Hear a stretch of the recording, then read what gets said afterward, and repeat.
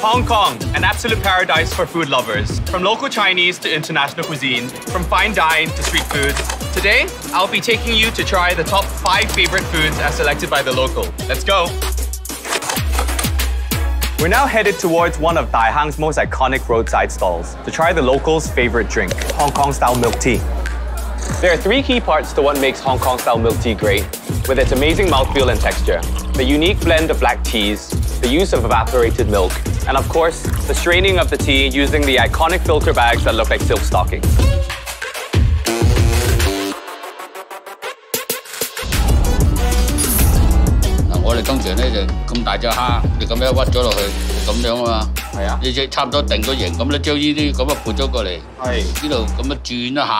嗱，我哋通常咧就咁大只虾，你咁样屈咗落去，咁样啊嘛。系啊你只差唔多定咗型，咁咧将呢啲咁啊拨咗过嚟，系呢度咁样转一下，咁啊已经得咗噶啦。咁快嘅？真系难度，望落好似好简单。啊，洋葱嘅面，亦咧就麻酱油。哇，好难用啊，大佬呢对筷子。细兜嘅我都。 The key lies in its texture. Firm yet bouncy noodles cooked only for 10 to 15 seconds, paired with wontons that's silky on the outside, yet has perfectly springy shrimp meat on the inside.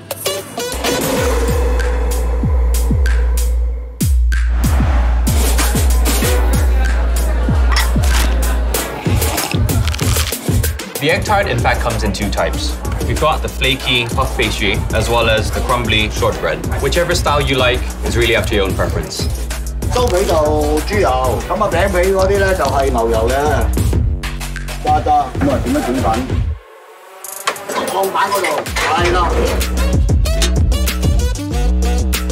We have some very interesting slangs for cha tang. For example, black coffee is called fei sa zhou lai. Chocolate is called fei mui.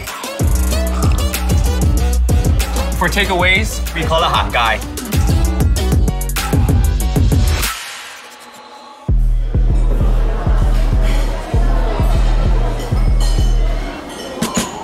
其實我係好中意將一啲嘢保留佢原著嘅特色，加啲新嘅元素落去。例如蝦餃係好傳統嘅點心，但係我哋加咗黑松露落去。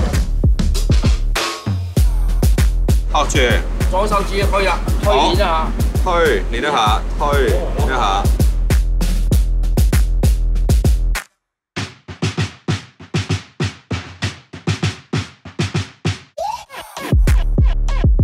Egg waffles are perhaps the quintessential local comfort food here in Hong Kong. The best egg waffles are crispy on the outside, yet gently steamed on the inside to be chewy. Its shape makes it highly Instagrammable and perfect for sharing.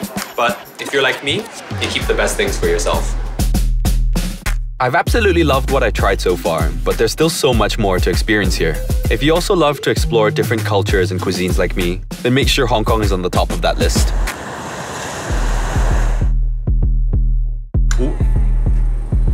好生猛啊，大佬。聽日有冇得翻工啊？